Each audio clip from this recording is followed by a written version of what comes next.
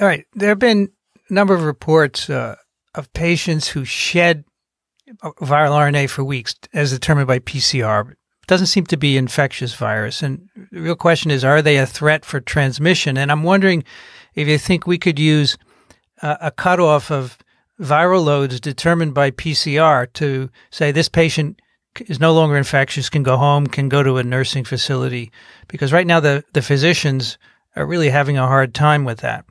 Right.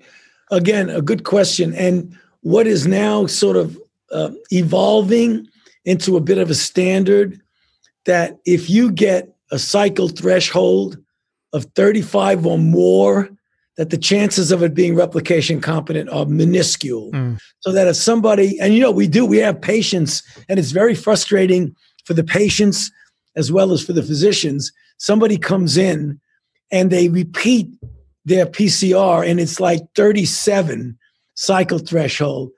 But you never, you almost never can culture virus yeah. from a 37 threshold cycle.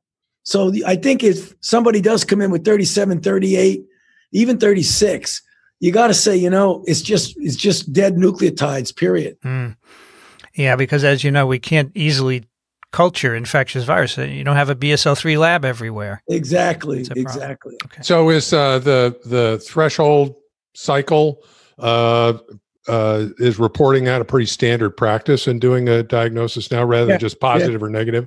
Okay, good. Yeah, I mean, if, if, when you go in, when, when I get my test, you know, it's negative. When someone comes in and it's positive, they don't give them the threshold until the, you go back and ask for it. Okay, but they they've got it. They've got it. Right. They've got it.